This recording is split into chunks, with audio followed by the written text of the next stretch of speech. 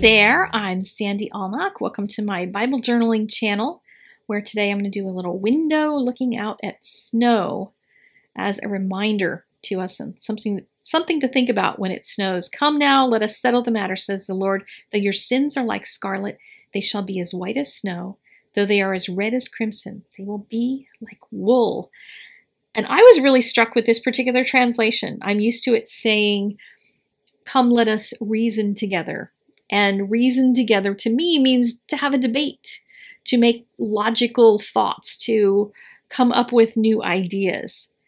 And this translation is just so much more what I need to hear right now about this. It's let us settle the matter, period. This is how it is. I will take your sins away. I will make them white as snow, period. It's not a debate it's this is the truth. And there was something in my heart that really needed to hear that today. So there you go. That's why I'm journaling it. well, partially that's why I'm journaling it. I have been thinking about snow. And I wanted to do like a snowy window, so almost like there's frost on the window and stuff. When you uh, spritz the water on this, and don't spritz it so it's completely covered, but just partially covered, then the pigment travels in all the rivulets and all the drops and those sort of things, and it bursts out into almost those little frozen looking kind of little bursts.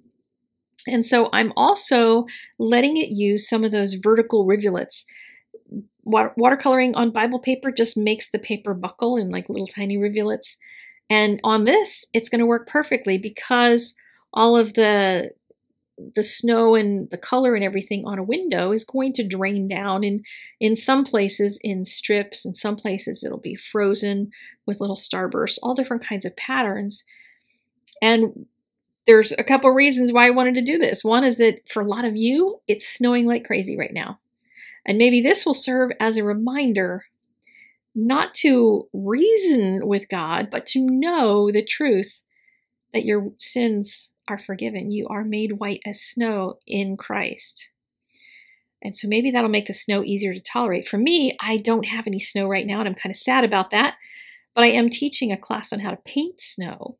And I have been going up to the mountains periodically to go paint snow outside and painting from photos and stuff. So I do have snow on the brain.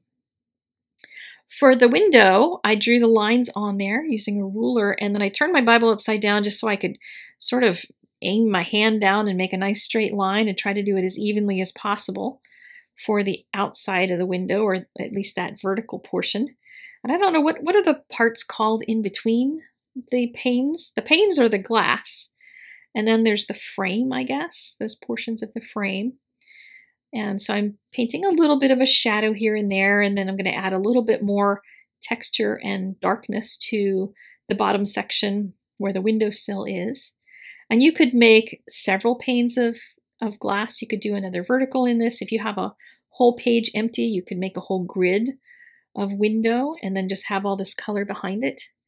And the fun thing about this is that you can paint all the snow first and then just do the window mm. frame over top of it and you don't have to paint around anything and worry about masking anything out or whatever. So the window frame is about done here.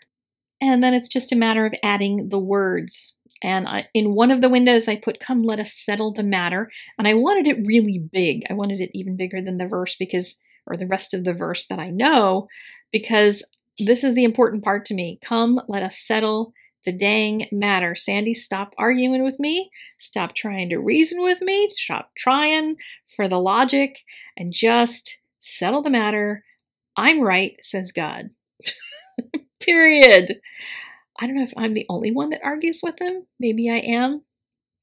But that's this week's page.